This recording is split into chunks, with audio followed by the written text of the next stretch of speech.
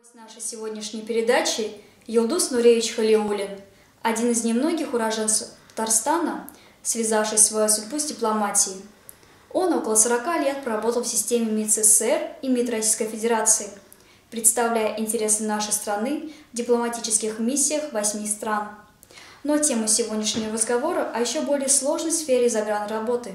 Пусть он сам расскажет об этом, о деятельности выдающегося разведчика Исхаке Ахмерове входит в высшую когорту асов разведслужбы мирового уровня. Имя его замалчивалось в нашей стране в течение десятилетий, даже после его смерти.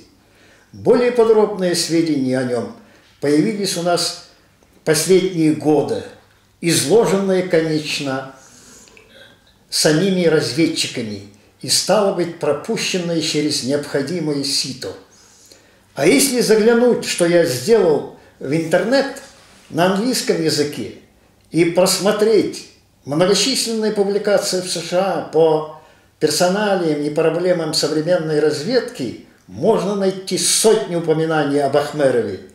Искать следует в различных вариантах. Юнг, Альберт, Билл Грейтс, Гренке, Майкл Грин, Майкл Адамов, Мэр и так далее. И любой читатель невольно придет к выводу, что Исхак Ахмеров был одним из выдающихся разведчиков периода Второй мировой войны. Особо охраняемые американцами секреты регулярно поступали к Ахмерову и затем незамедлительно направлялись в Москву. Из опубликованных сотрудниками внешней разведки материалов видно, что еще до начала Тегеранской конференции великих держав – советская делегация своевременно получила информацию о планах и намерениях американцев, намечаемых ими шагах. Небольшая высококвалифицированная интернациональная группа, действующая в различных точках планеты, Рихард Зорга в Токио, Ким Фильви в Лондоне, Яков Рейзман, Исхак Ахмеров и Рудольф Абель крупнейших центрах США – течение длительного времени обеспечивали советское руководство ценнейшей военно-политической информацией, полученной из первоисточников, так сказать, из первых рук. Это способствовало принятию правильных государственных решений в сложнейшие годы развития страны под тяжестью различных обстоятельств. По истечении времени все они засветились. Рихард Зорга и Яков Рейзман погибли – Рудольф Абель оказался в тюрьме, Кимфильви был вынужден навсегда покинуть Англию. Все, кроме Исхака Ахмерова, который благополучно вернулся со своей американской женой в Москву после успешного завершения поставленных задач и еще 30 лет до конца жизни продолжал служить всем своему. Исхак Ахмеров родился в городе Троицк. 7 апреля 1901 года бедной татарской семьи. Отец скончался через несколько месяцев после его рождения. Он о нем знал только по рассказам матери. Мать был вынужден, дед э, занимался кустарным делом меховые изделия. Э, э, и у деда была большая семья. Они ели и перебирались сами с чая, с хлеба на чай. Все равно он научил молодого Исхака, как разделывать кожу, кожному делу. Но в 12, когда ему исполнилось 12 лет, дед умер. Они вообще остались сиротами. С 12 лет он был, Исхак был вынужден работать в различных работах. Помощником шлифовальщика, помощником монтера, помощником приказчика. Освоил полдюжины специальностей. Когда состоялась, произошла февральская революция, Исхак устроился приказчиком в мануфактурной, мануфактурном магазине. И мать была страшно рада, что он работает там. Но после революции, Октябрьской революции, э, магазин разорился, поскольку не было товаров для продажи. И он был вынужден выехать Казань. В Казани он начал работать. И в возрасте 90, 19 лет, в возрасте 19 лет он был принят в партию. В 20 лет его избрали членом городского совета города Казани. Но он все стремился к учебе. Его отправили в Москву на бухгалтерские курсы. Он закончил бухгалтерские курсы и вернулся опять в Казань. В Казани он устроился в наркомпросе главным бухгалтером. Поработал несколько лет. Он хотел получить высшее образование. Его отправили для получения высшего образования в Восточный университет в Москву. Он начал там, в Москве, изучать турецкий язык в университете. Закончил блестяще, закончил после окончания университета, его направили заместителем директора педагогического техникума в Москве. Поработал он два года, 23-24 года. Потом его направили в Министерство иностранных дел, как человека, знающего турецкий язык. Отправили первое направление, которое он получил, отправили его в Термес. В Термезе он участвовал э, как раз в период борьбы басмачества на стороне советских э, войск в качестве переводчика. После того, как образовалась Бухарская республика, его оттуда отозвали, Министерство иностранных дел отправило, отправило его в Турцию секретарем Генерального консульства в Стамбул. В Стамбуле он прекрасно показал, как знаток турецкого языка, знал немного э, французский язык. И в течение нескольких лет с должности секретаря генконсульства он стал исполняющим обязанности генерального консула. Этот путь проходит обычно в Министерстве иностранных дел в течение 15-20 лет. Он это прошел за 2-3 года. И мне представляется, что именно в те годы, когда он работал в Стамбуле, Исхак, Исхак Абдулович Ахмеров – Э, начал работать э, в системе службы внешней разведки. Однако после возвращения из Стамбула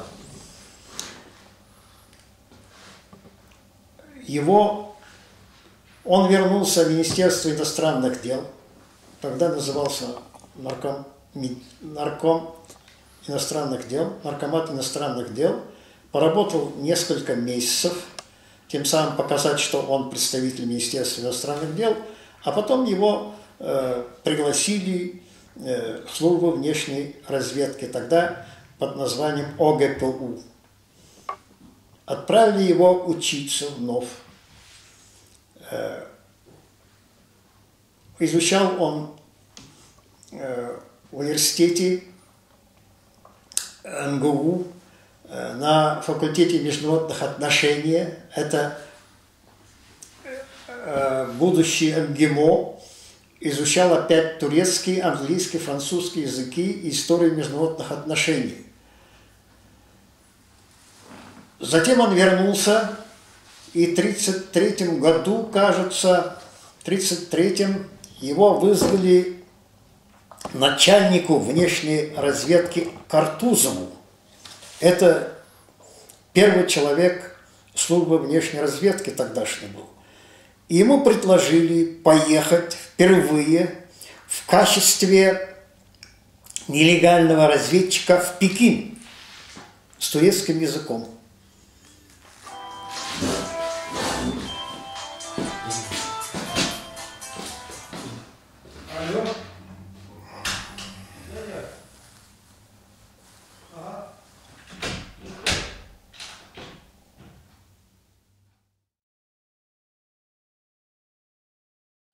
Турецкого студента-востоковеда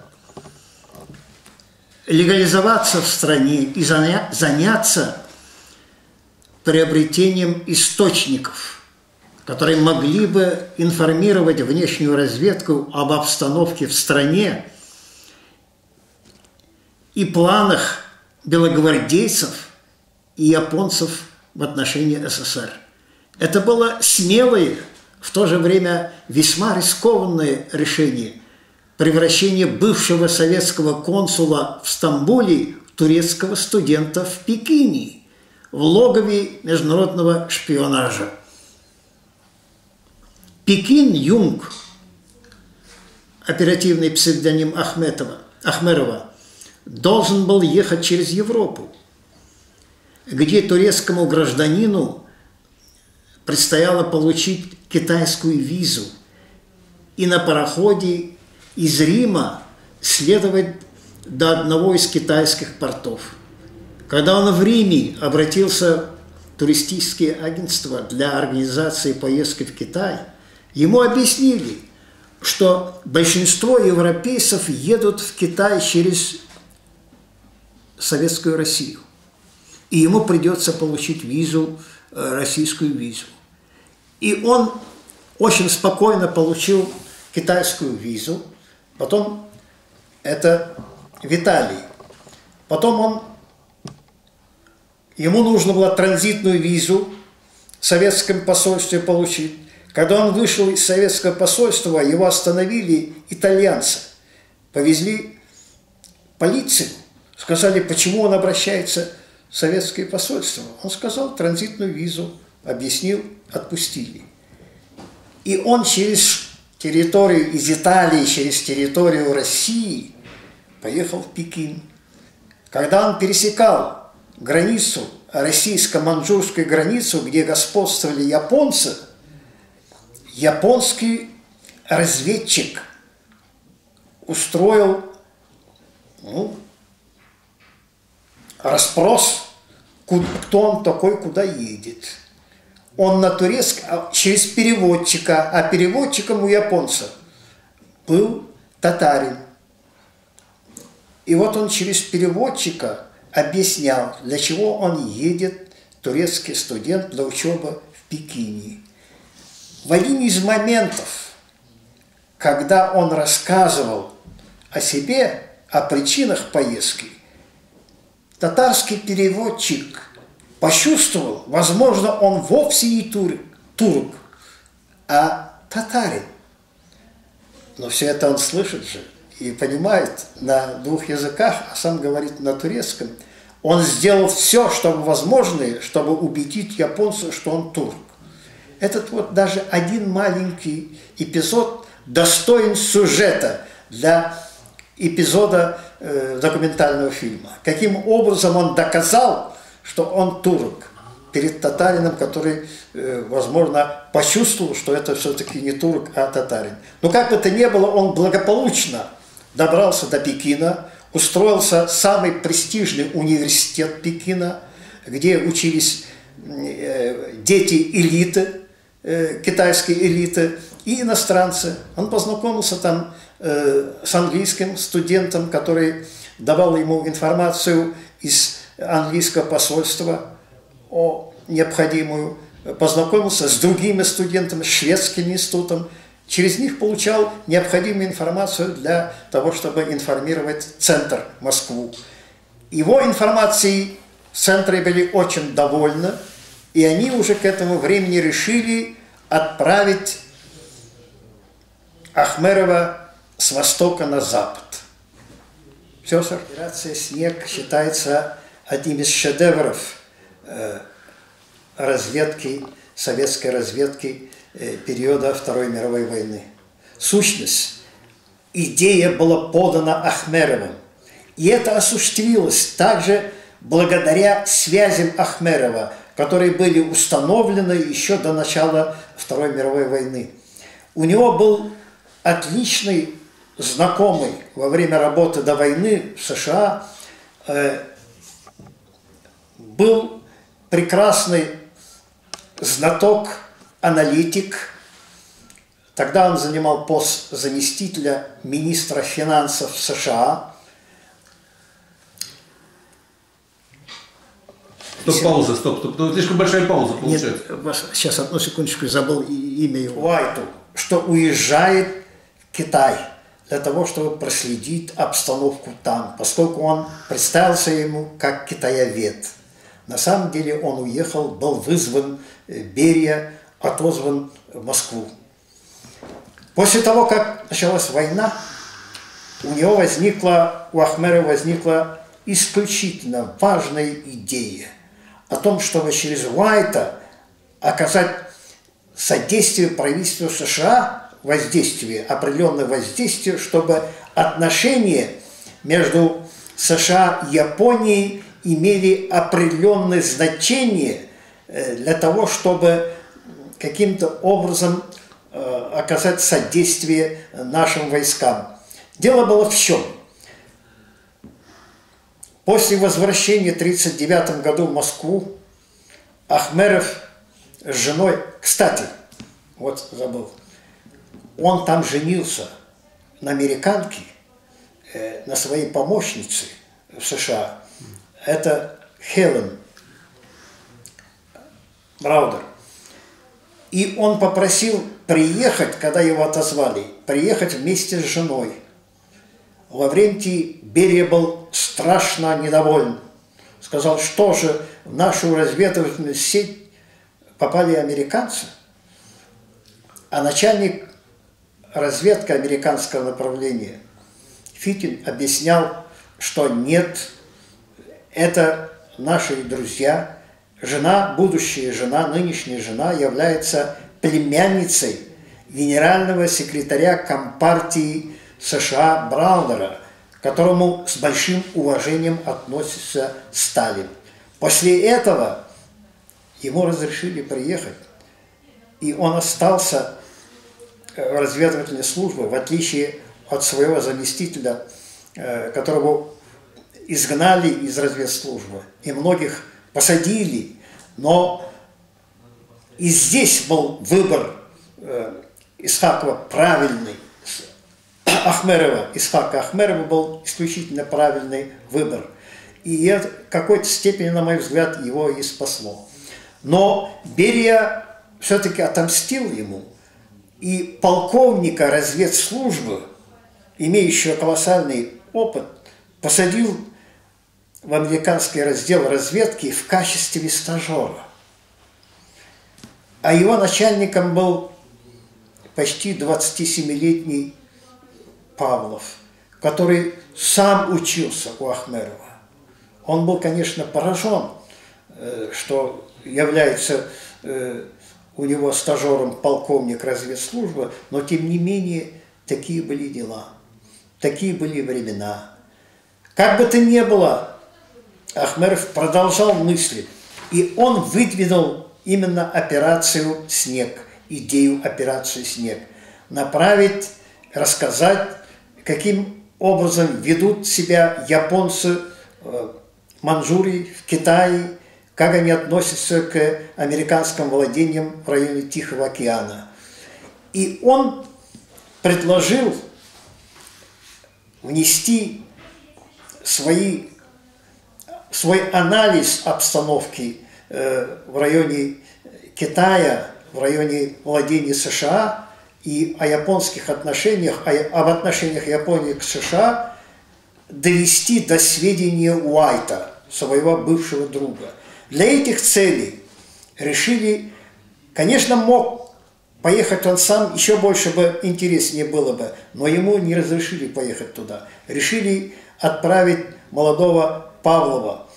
Он днями и ночами учил его, каким образом встретиться с Уайтом, что ему сказать. Все он составил сам, Ахмеров, и заставил наизусть выучить то, что говорил Ахмеров. И Павлов поехал в качестве дипкурьера, вдвоем они поехали на неделю в США, встретились. Он даже показал, когда, какой день встречаться с Уайтом – через какой телефон, откуда позвонит, где встретиться, все рассказал точно. И все тезисы Ахмерова были изложены Уайту. Уайт, Уайту было сказано, что его друг, что он привез послание от Ахмерова, от друга, который сейчас находится в Китае, а сам э, он, э, Павлов является как бы его учеником, он плохо знает английский, потому что он бывший, сын бывшего э, офицера, белого офицера, который живет в Китае. То, что он изложил со слов Ахмерова, было Уайтом воспринято. Он сказал, он доведет до сведения руководства э, США о тех приготовлениях, агрессивных действиях Японии по отношению к США. И это действительно Уайт довел до сведения министра финансов, затем э, до президента. Президент вызвал японского посла, поставил ультиматум, чтобы японцы освободили территории Китая. И э, несколько, два ультиматума были поставлены перед японцами. Японцы на протесты, на ультиматумы США не ответили, и ответили тем, через две недели нападением на Перл-Харбор. Неожиданно нападением. То есть возникло и Соединенные Штаты э, через день объявили войну против Японии. И мы 8 декабря, уже в начале декабря, могли отвести свои войска, которые находились на границе с Манчжурией, полумиллионную армию под Москву. И началась с 8 декабря 1941 года началось наступление, контрнаступление советских войск против Германии. Была одержана первая победа под Москвой. И это доля великого Ахмерова. Хелен Таня приняла советское гражданство и стала полноценной сотрудницей советской внешней разведки. В сентябре 1941 года Исхак и Елена, разведчики-нелегалы, отбыли к месту работы в США окольными путями через Восток. Путь за океан лежал через Китай и Гонконг. Отсюда на пароходе они прибыли в США. Для этой поездки им подготовили соответствующие документы. В США они перешли на свои надежные старые паспорта – Имея опыт нелегальной работы в США и хорошо зная оперативную обстановку в стране, Ахмеров сразу же после прибытия приступил к выполнению заданий центра. Для надежного прикрытия он создал коммерческую фирму по пошиву и реализации меховых изделий по образцу своего деда. Здесь ему пригодились навыки скорняка, полученного от деда – Каждый день с утра до, до обеда он работал в конторе, занимался финансовыми и коммерческими делами фирмы. Это позволило вывести фирму в число благополучных и серьезно закрепить положение разведчика в ранге преуспевающего бизнесмена. Он сам заработал расходы для разведки. Зарабатывал. После обеда дома он изучал прессу, материалы по международным вопросам, готовился к предстоящим встречам с источниками. Два-три раза в месяц он выезжал из Нью-Йорка в Вашингтон для встречи с наиболее ценными источниками, как правило, по субботам и воскресеньям. Несколько раз в месяц в американскую столицу выезжала и Елена, выполняя задания мужа по связям – Одновременно они умудряли, она умудрялась учиться в университете, на факультете педагогики. Таков был жесткий распорядок дня этой мужественной пары в течение пяти лет. Для сна оставалось лишь 5-6 часов, и то не всегда. Источники резидентуры агент, агента Ахмерова находились на многих объектах правительства США – и особо охраняемые американцами секреты регулярно поступали к нему, а затем направлялись в Москву. Например, накануне и во время Тегеранской конференции великих держав советская делегация заранее получила информацию о планах и намерениях американцев. И в этом была большая заслуга Исхака Абдуловича, который получил сведения через своих агентов, как говорится, из первых рук. Ахмеров располагал, располагал ценными источниками в Государственном департаменте, администрация зарубежной экономики, Управление департамента военной промышленности, ФБР, департаменте юстиции и других учреждениях. Один из его агентов добывал информацию по, атомному, по атомной проблематике, проект Манхэттен. Другой его агент, работавший в управлении стратегических служб внешней разведки, передавал документальные материалы военной инфраструк... о, о военной инфраструктуре США, мероприятиях по подготовке э, военных операций. Большой объем секретных материалов поступал и от других источников. Все вышеупомянутые позволяет утверждать, что полковник Исхак Абдулович Ахмеров был одним из выдающихся представителей внешней разведки. Он сыграл большую роль в укреплении обороноспособности нашего государства и наиболее суровое время для страны в годы Великой Отечественной войны, возглавляя с 41 по 46 год нелегальную резидентуру США – Среди направленных Ахмером материалов были сведения об оценках американцами военно-политического потенциала Германии, военных и политических планах правительства США, проекты документов, подготовленных для важных международных встреч, данные о переговорах германского посла в Ватикане с представителем президента Рузвельта об условиях выхода Германии из войны. Вся эта информация имела большое значение и докладывалась непосредственно высшему руководству – После возвращения в Москву в 1946 году он был назначен заместителем начальника управления нелегальной разведки КГБ и плодотворно трудился на этом посту около 10 лет. Неоднократно выезжал в краткосрочные спецкомандировки для восстановления связи и оказания помощи разведчикам-нелегалам. Выполнял и другие ответственные задания. После отставки по выслуге лет читал лекции в учебных заведениях советской внешней политики, внешней разведки. Как отмечается в опубликованных источниках, в одном из своих выступлений Исхак Абдулович, Абдулович с гордостью заявил, что около 10 лет он был американцем, вместе с женой вел разведывательную работу, свободно разъезжая по стране, имел торговые предприятия, квартиру в Нью-Йорке, руководил солидными источниками агентом в Вашингтоне, которые давали важную политическую информацию. В условиях войны освещали политическую политику не только США, но и наших э, противников Германии и Японии. Когда из центра получал сообщение, что эта информация имеет большое государственное значение, я понимал, что приносил большую пользу Родине и чувствовал глубокую удовлетворенность, заявил в одном из своих выступлений Ахмеров. В итоговых документах о работе внешней разведки в годы Великой Отечественной войны говорится Особенно успешно в годы войны в США действовал раз, резидент нелегальной разведки, вид, видный советский разведчик Ахмеров. Редко кому из развед... Редко кому из разведчиков удавалось заслужить такую высокую оценку. Еще один абзац из воспоминания людей, знавших его лично или его э, разведдеятельность. Исхак Абдулович обладал большой силой воли, упорством, настойчивостью в достижении цели. Он старался не делать себе послабления, даже в мелочах. Это был человек большой души, увлеченный делом, которому он служил всю сознательную жизнь. Он был беззаветно предан своему Отечеству. Исхак Ахмеров скончался 18 июля 1976 года на 76 году жизни. Его жена и боевая подруга Елена Ивановна Хелен умерла в 1981 году.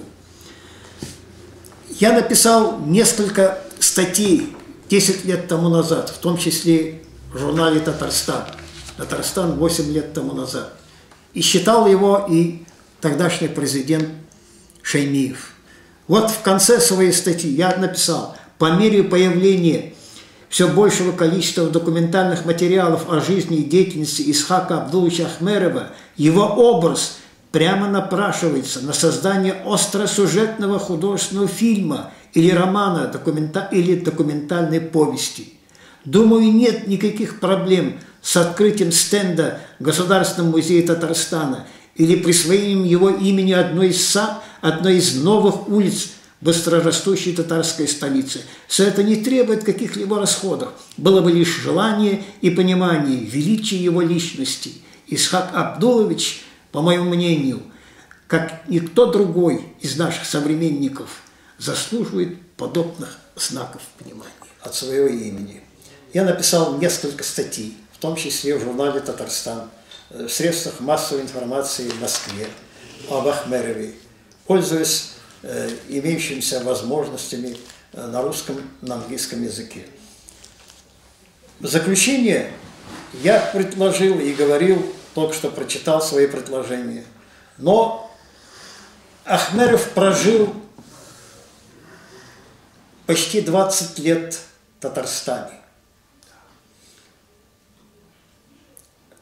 15 лет за границей, свыше около 50 лет в Москве. Что интересно, что интересно,